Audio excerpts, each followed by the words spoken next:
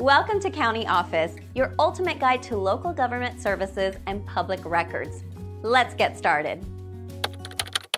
Where to find Watkins? Glen, New York mugshots. Jen looking for mugshots from Watkins Glen, New York. Let's dive into the details.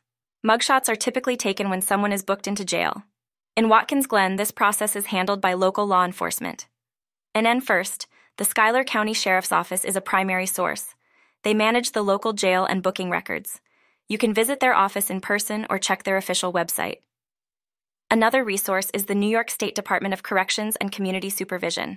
They maintain records of individuals incarcerated in state prisons. Their online inmate lookup tool can be useful. NN local courts also play a role. The Schuyler County Court handles criminal cases and might have records of mugshots. You can request records by contacting the court clerk. For more recent arrests, local news websites often publish mugshots and arrest information. These sites get their info from law enforcement press releases.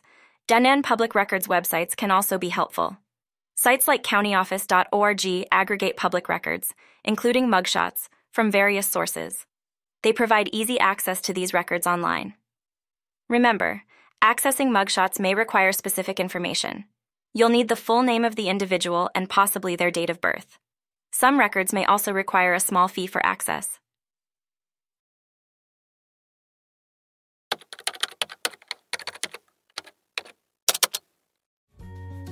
To learn more, check out these links, which you can click in the description below and feel free to comment your questions. We're here to help.